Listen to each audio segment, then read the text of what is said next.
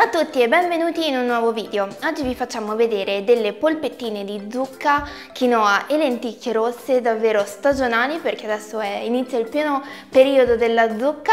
La quinoa e le lenticchie che andremo ad utilizzare sono del sito Anyway Bio, vi mettiamo il link in descrizione, è un sito davvero molto carino dove c'è tantissima roba e mm, la prima cosa che andremo a fare quindi è pesarli e sciacquare la quinoa.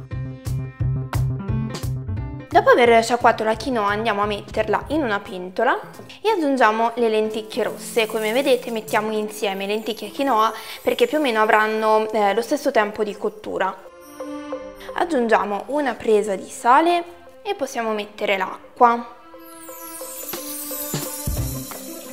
A questo punto possiamo mettere sul fuoco e lasciamo cuocere circa 25 minuti coprendo con un coperchio. È arrivato il momento della zucca, eh, quindi la andiamo a sbucciare e tagliare a cubetti. Io amo letteralmente la zucca, ormai penso che l'abbiate capito. Fatemi sapere a proposito se piace anche a voi e magari qual è il vostro piatto preferito così mi date qualche suggerimento, qualche idea, eh, dato che sta arrivando la stagione farò veramente una scorpacciata di zucca, già lo so. Come vi dicevo basterà sbucciarla e tagliarla a pezzettoni, eh, io già l'ho fatto e adesso non mi rimane che mettere tutto quanto nella vaporiera, quella che uso per il microonde. Aggiungiamo un pochino di acqua, chiudiamo e possiamo cuocere.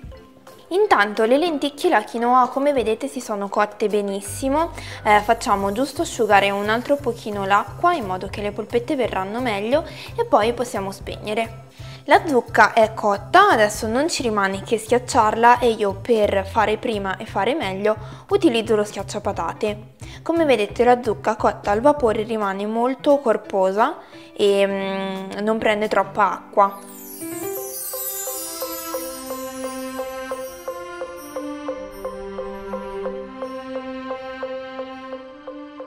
Guardate come sono diventate belle lenticchie e quinoa. Il bello della quinoa è che quando cuoce di più eh, rilascia una sorta di mm, cremina, diventa una cremina e quindi è perfetta se dovete fare queste cose, polpette, polpettoni, è davvero l'ideale.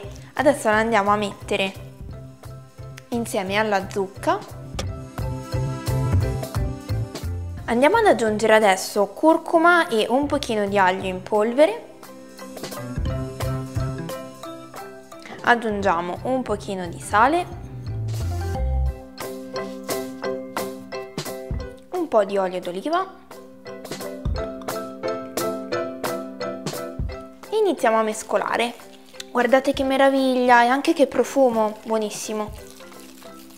Iniziamo a mettere il pane grattugiato, non lo vado a mettere tutto, mescolo e vedo quanto e vedo quanto ne assorbe. La dose del pane grattugiato è sempre indicativa perché dipende da quanta acqua eh, ha ancora la zucca, la quinoa e le lenticchie, magari non è per tutti uguale. Quindi anche voi mettetene un pochino e poi eventualmente aggiustate aggiungendone ancora.